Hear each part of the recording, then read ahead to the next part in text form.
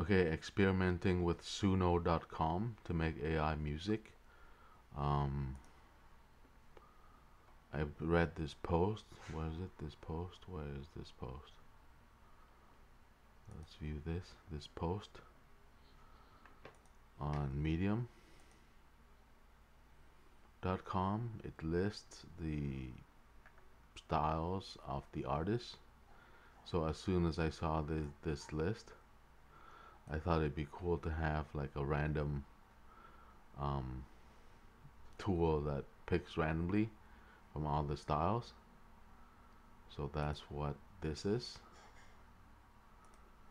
This one. You simply want let's say you want five tags you enter five tags and you'll random choose and it gives you five tags and you can copy any of these. You can copy that and paste it in suno.com uh, to set your styles to experiment with. This is version 1 of the tool. It grabs the styles from that blog post up here. And then there's version 3 and version 4 so version 4 is basically given to me by someone on Reddit named Rocktech.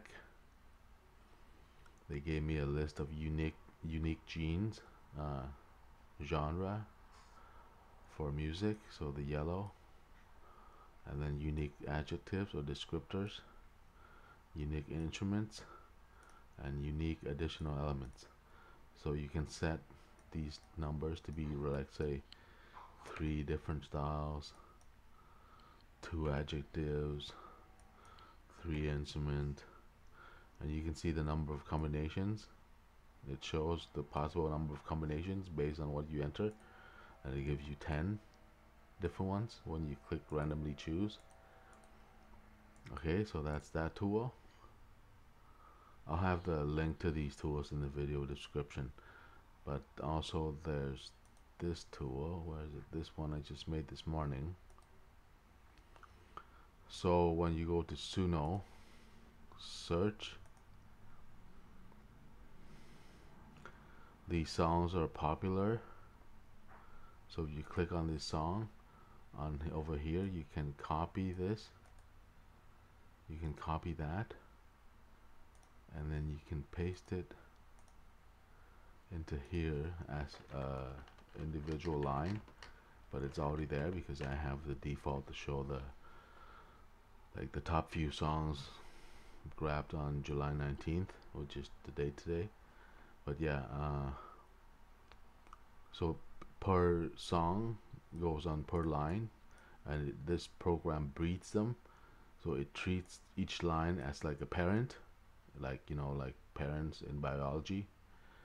Like two parents makes a kid and the kid is a breed of those two parents. So if you generate breeds it'll generate 18 based on those parents. It just picks randomly two parents and it mixes the genes together. It treats each uh, genre or style music genre or style as a gene and it crossbreeds them. So you can copy this and paste it in Suno. Okay uh, that's it. Thanks for watching. Bye. I'll stop the recording now